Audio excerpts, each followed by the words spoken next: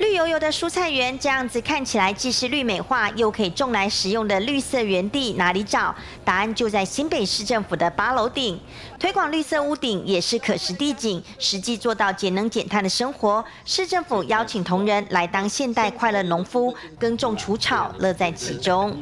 有几位辛苦的农民正在这边开始浇水，在这边拔除杂草，然后我就想说。呃，应该是我们的同仁。大概五点半左右我就走下来，然后看到我们蔡老哥，还有蔡大哥，还有蔡小哥啊，这位三位蔡哥哥啊。都在这边很辛苦的在那边工作。七十五平的空间大小里，总共种植了二十九种蔬菜。市长朱立伦充当一日农夫，弯腰收割各式蔬菜。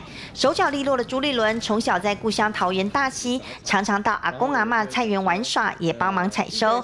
看到菜谱上有些杂草，就知道有没有用农药，肯定市府员工种菜的用心。希望这些每一次采收的这些我们有机蔬菜。